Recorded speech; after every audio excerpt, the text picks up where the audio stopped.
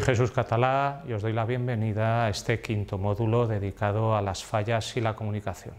En esta primera lección vamos a ver cómo las fallas son objeto de interés para los medios de comunicación.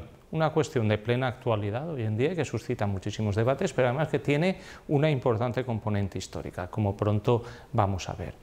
En las siguientes lecciones hablaremos de la falla más bien como un objeto que comunica cosas.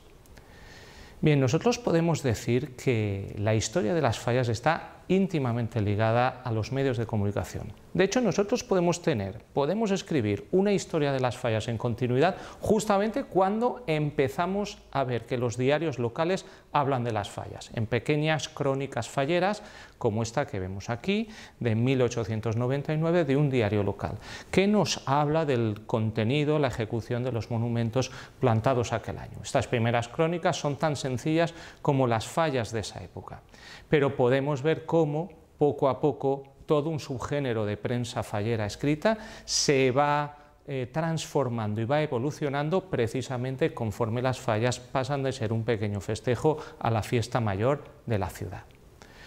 Además de la prensa diaria valenciana, pronto veremos también en ese proceso de, bueno, de las fallas más complejas y también más proyectadas hacia el exterior, cómo medios escritos de otras ciudades españolas se van haciendo eco de esta fiesta, sobre todo cuando se empieza a proyectar una imagen turística de las fallas. Un buen ejemplo, un diario barcelonés, La Vanguardia, uno de los más importantes de España, el 19 de marzo de 1936 saca todo un reportaje gráfico sobre las fiestas falleras de ese año. La gran dimensión social y sociable que adquieren las fallas a comienzos del siglo XX se ve también eh, reflejada en la aparición de las revistas falleras, medios de comunicación escritos específicamente dedicados a la fiesta.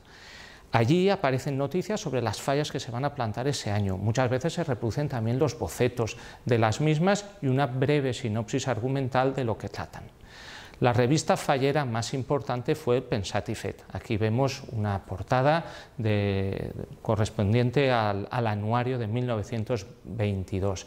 Estaba íntegramente escrita en valenciano, algo relevante porque esta lengua pues, tenía muy poco reflejo editorial en esta época. Y a la información estrictamente fallera sumaba colaboraciones literarias y artísticas de primer nivel.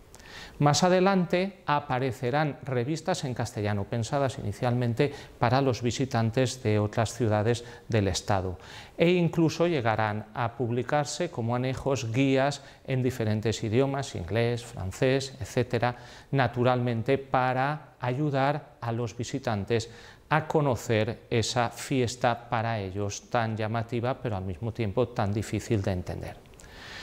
Concebida originalmente para ese fin de guiar a los turistas está El Turista Fallero, una revista que hoy en día sigue editándose y que une a la información fallera de nuevo artículos de opinión y de divulgación. Actualmente siguen manteniéndose varias cabeceras anuales e incluso mensuales específicamente dedicadas a las fallas. Los diarios locales publican cada año suplementos en vísperas de las fallas para informar al respecto. Y durante todo el año las fallas son hecho noticiable, de manera que en esos mismos diarios locales hay secciones específicas, normalmente semanales, que hablan de la actualidad fallera. Existe también una revista anual específicamente dedicada a estudios de investigación sobre la fiesta, la revista de Studies Fallers, que es de obligada consulta para cualquiera que se acerca desde una dimensión científica a la fiesta de las fallas. Aparte de los medios escritos, las fallas también han encontrado amplio y creciente eco en los medios audiovisuales de comunicación de masas. Un estudio todavía en prensa ha mostrado cómo la primera emisora de radio con emisiones regulares en Valencia en los años 1930 ya incluía en su programación noticias falleras. Hoy en día son muchas las emisoras locales de radio y de televisión que tienen programas específicos sobre la actualidad fallera a lo largo del año y que además en los días de la fiesta, en los días principales, hacen retransmisiones en directo de los actos principales. Incluso estas radios y televisiones aprovechan las infraestructuras de las sedes sociales de las fallas para hacer sus emisiones. La era digital ha afectado también, por supuesto, a la comunicación fallera. Los medios tradicionales ahora cuentan, por supuesto, con versiones online, pero además está todo el fenómeno de los blogs, los foros de opinión, los portales específicos de información que han ampliado muchísimo el panorama de la comunicación fallera.